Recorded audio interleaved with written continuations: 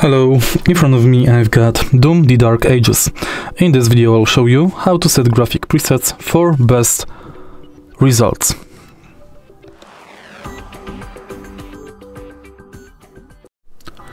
In the beginning, let's go to settings and now find display. Firstly, for window mode, select borderless windows. Although full screen mode is the way to go to enjoy best performance, Borderless is much more stable mode to run game currently. Next, let's go to resolution. Any resolution lower than native will make the game textures increasingly, increasingly blurry. So let's select native resolution. For refresh rate, select maximum refresh rate your monitor offers. Next, disable vertical sync and select present from compute on. Recommended for best performance.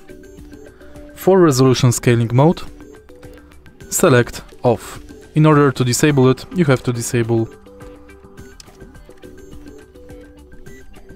upscaler.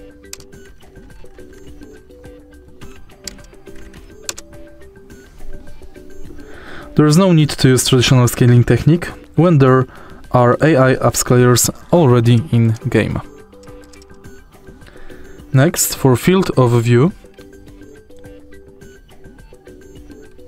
select the field of view you find best for yourself. Disable chromatic aberration and depth of field leave on on. Sharpening set anywhere from 1.5 to 2.5. Disable film grain if you like.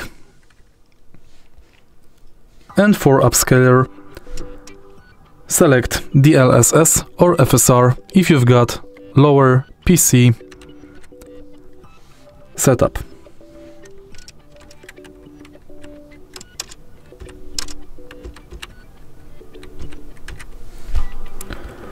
Next, you can enable FSR or DLSS frame generation.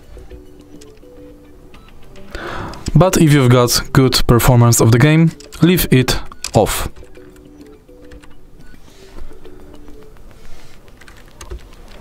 In the end, you can enable HDR, adjust HDR gamma,